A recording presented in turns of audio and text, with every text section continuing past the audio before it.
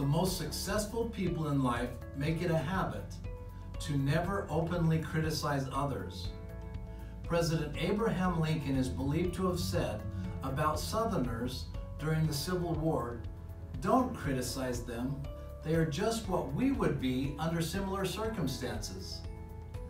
We can never know what it is like to see the world in the eyes of another. Making a judgment shows our lack of understanding.